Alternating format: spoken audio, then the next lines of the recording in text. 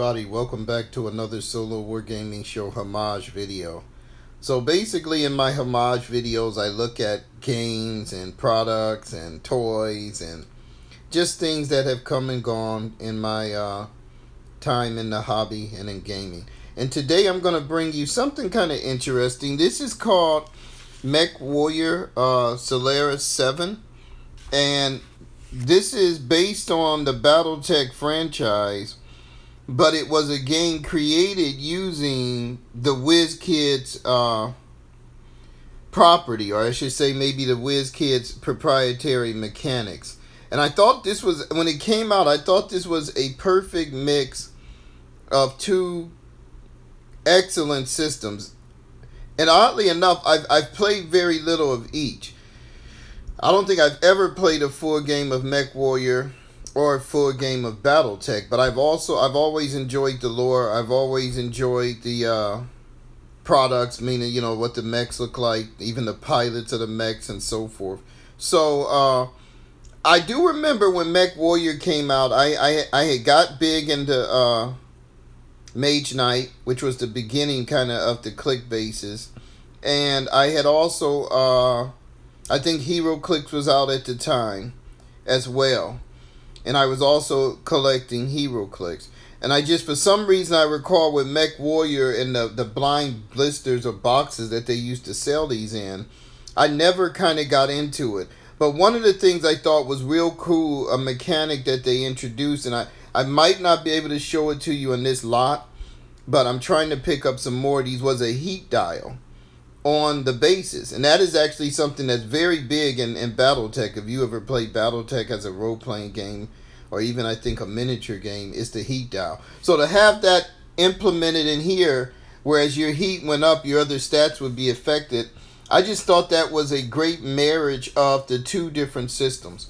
And so today what we're going to take a look at is the WizKids uh, presentation of Mech Warrior kind of what you would get in a starter box uh, of the mechs. And then we're going to look at some mechs that I have.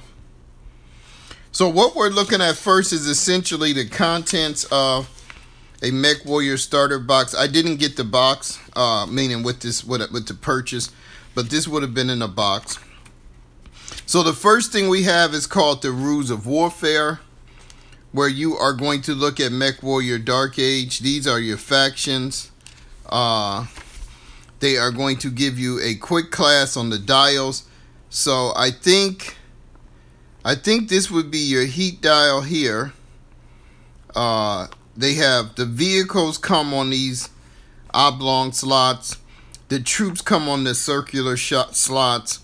And your mechs are going to come on the large round slots. Uh, yeah, but it talks about your heat dial right there. So and this is your heat dial going down here. So you get your minimum range your max. So it's kind of cool because your heat dial will affect all of this. Now I don't know if it actually affects the turn when you turn this or if this is just a modifier that you have to remember because you're taking heat. So it talks about building your battle force with the mech with the vehicle with troops and because this was a kind of a combined armed games, I actually thought this was just a perfect system because otherwise you're trying to keep track of stats for soldiers and vehicles and mechs and you know it can be a lot. But when you have it right there in their base i mean it's just every turn you're going to adjust their stats. So it's a pretty long rule book. I think for mage knight this is probably one of the longest rule books that they've done uh, for the mage knight brand. They then get a, a mat which is obviously kind of a paper glossy coated mat.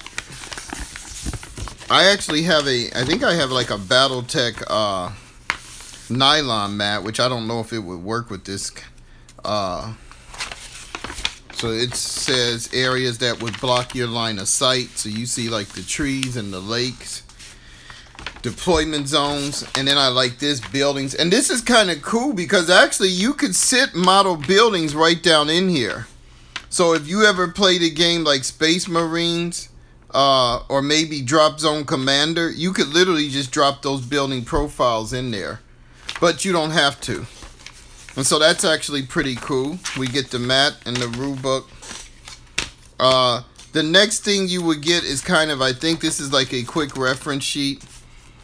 It talks about special equipment, armor piercing, energy damage. So there is a lot. Now this would actually be kind of the equivalent of your uh, powers and abilities card from uh, HeroClix. So in HeroClix, you had like powers for strength, powers for movement, powers for defense, and so forth. And so that's what this is on your mechs. But obviously, it has more appropriate names and things. But you know, it would tell you if there's an armor piercing. So this unit ignores all defense special equipment while making a ranged combat attack. Looks like we get uh Oh, maybe this is just a quick flyer advertising another one. Looks like a convention in Arlington, 2003. Wow. And then you get the rules of competition, which I'm not exactly sure. This is probably specific to the Solaris 7. It says Mech Warrior Solaris 7 gives you a different way to play with your Mech Warrior miniatures. Solaris 7 uses many, but not all, of the concepts and components common to Mech Warrior Age of Destruction. It even introduces some new mechanics and gameplay options. So that's kind of interesting. Uh, this Solaris 7 basically is another way to play the game. And I mean, these rules are pretty thick. This is 45 pages, so... And then you get a die, which I'm not sure if you need that die or not. So that is kind of your accessories. Now we're going to take a look at the miniatures. Okay, so this is what I got. And I bought this lot at an online auction. And the guy really packed it nice. So I figure we'll just take it all out one at a time. So the first thing here is a long time artillery piece. And you can see these are all pre-painted and actually pretty well. This is another long time artillery piece. So we're not going to dwell on that. This is a mech. We've got our first mech. So I did get some mechs. This is a Centurion. Look at that. This is a Centurion. That's his heat dial there. So let's see here. If he's on this and he takes heat. So it doesn't move the dial, but it, it's like a modifier to this number that goes across, I think. So that's pretty easy to read. What else do we got? Is this another Centurion? No, this is a an ogre ogre cod. I can't read the other part of this. KDK. An ogre KDK mech. Now, if you want to hear about BattleTech and BattleTech tactics, take a look at Wargamer Fritz's channel. He does excellent uh, tactics videos on playing BattleTech. Now, I think he's talking about the miniature game, not this one. But uh, look at this. This thing looks sweet. This is called the Zibler Fast Strike Tank.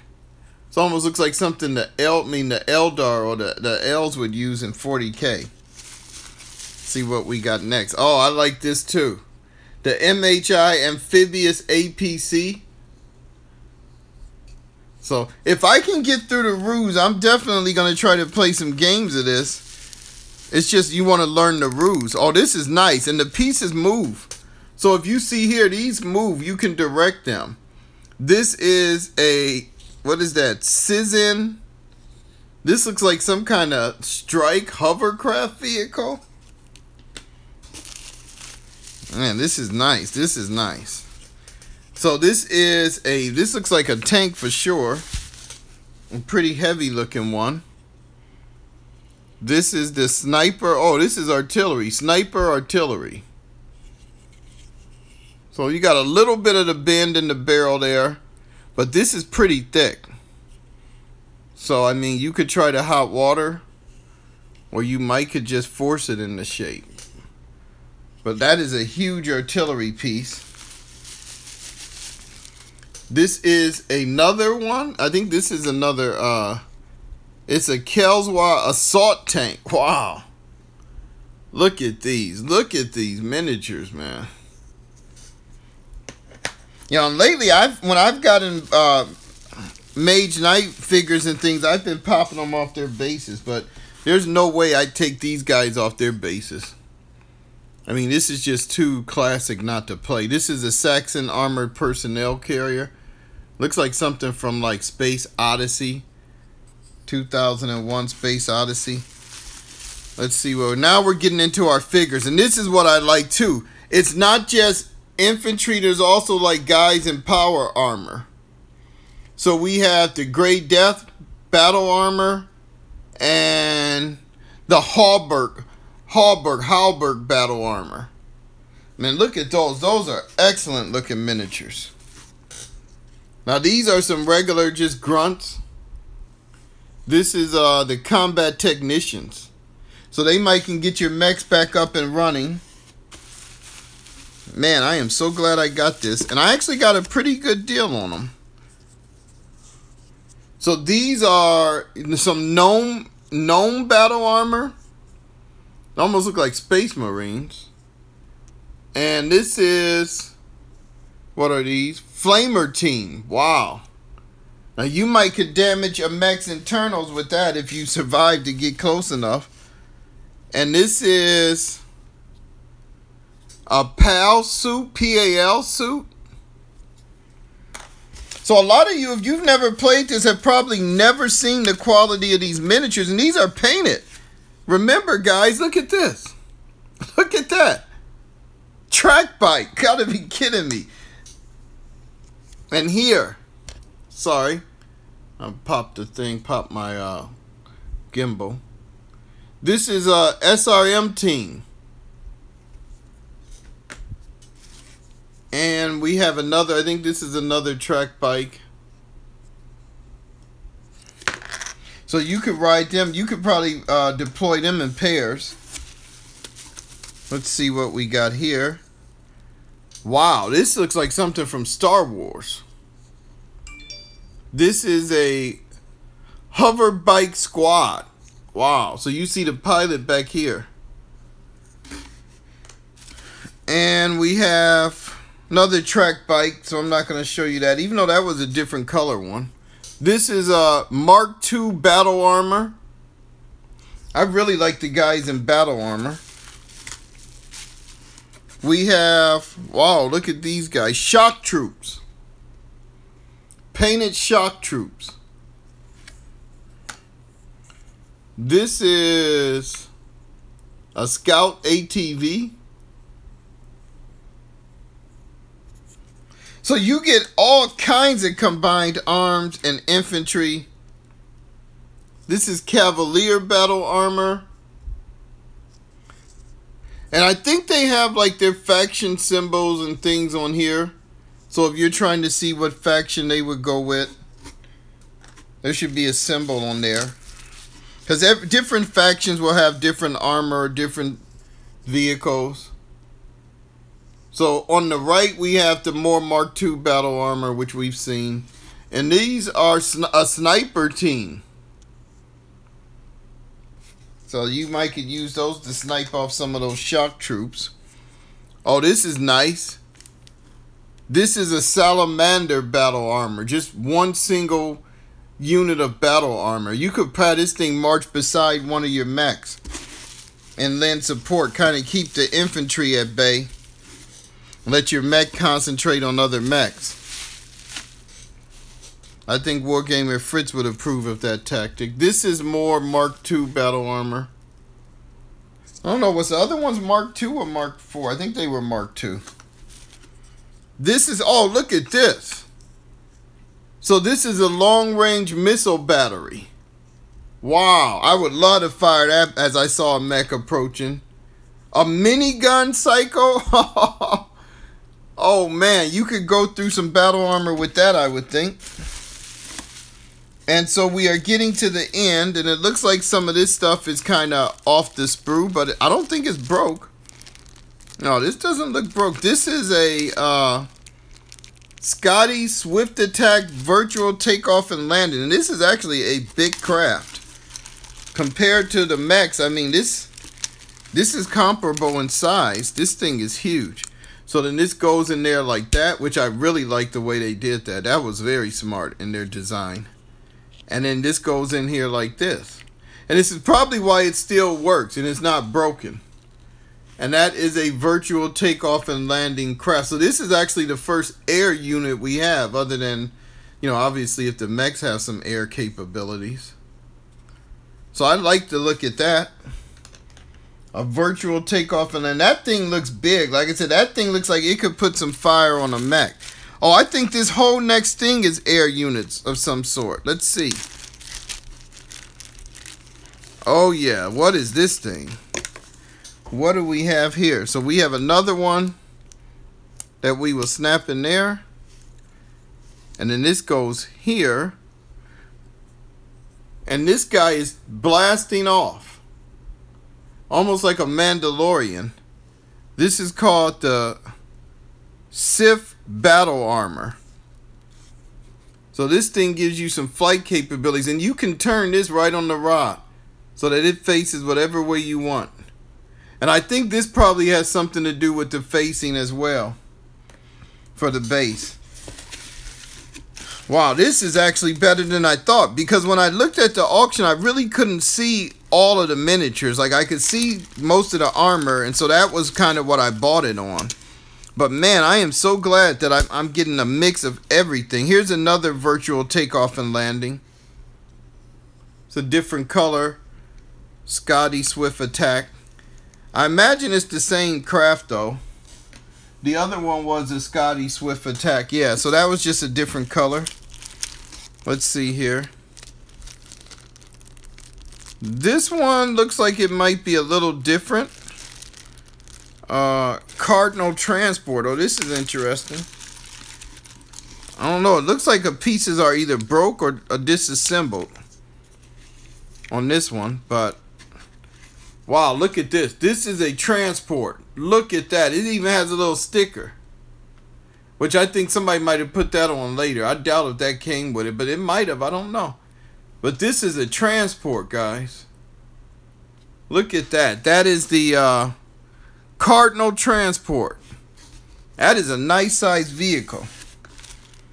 And I don't know what it is. It has some kind of other accessories that I think those broke off, but I'm not worried about that. Let's see what we got. We got two more to go. Oh, a helicopter. I love these helicopters. I saw these in another auction that I lost. I was trying to win it, but it got a little too little too rich for my blood because these can go for some some money if, if, if you know if certain people see them. Sometimes you can get them for little or nothing. Other times, you know, you're gonna have to pay. But look at that. Look how they did that. That is so sweet. You know, and this thing turns. So, and this is a Shun Transport VTOL. Man, I really love the design on these. Some of this stuff, they just went whack. Like, they put this thing down, the tail fin going down the opposite way, which is just whack. Just, just a cool looking design. And then we have one more. So let's get the box out. Shake it. Nothing coming out. And so this one looks kind of interesting because we have this VTOL, which is, I think, just another Scaldy. Yeah, so this is just another Scaldy with kind of the attachments coming out. I think this is a Swift attack. But, uh, there's also a unit of Cavalier battle armor. So it looks like one of them popped off. But, uh, I don't know. I could glue them back on and not bother with it. But that is that is the BattleTech. So let's just take a look at everything. So this is everything we got, guys, or at least as much as I could get into the uh, frame. But uh, I don't know. I doubt if this was like in one box. I know it's not a starter box, but you know this is obviously uh, somebody's collected this. You know, a collection but uh, it did give you a good idea of the different mechs and variety of figures and units in the game. Now, obviously, being Mech Warrior, we only got two mechs, so I, I don't know if this would actually be playable. uh, in a game or competition because the mechs do tend to be quite powerful uh, from what I understand about battle battle tech. Uh, so you would probably want to get some more mechs. And I do know the mechs tend to go for a little more. Probably for that reason. Uh, but, I mean, I, I like what I got. It's definitely a good place to start. Uh, you know, maybe if you're playing a, a, smaller point game, you'd have one mech, one vehicle, and a couple of uh, ground units. But yeah, this is just a, a homage to a system that, uh, you know, when in its day, it was actually quite popular. I, I, I recall specifically going to a convention at Gen Con, and they were doing a tournament for this late into the evening. And I don't know if I've told that story before where I had the two guys team up on me and basically take my take my stuff out. But this is what we were playing was this Mech Warrior by WizKids. So uh, in its day, it was it was very well received. All right, guys. I hope you enjoyed that. Take care of yourselves, and God bless.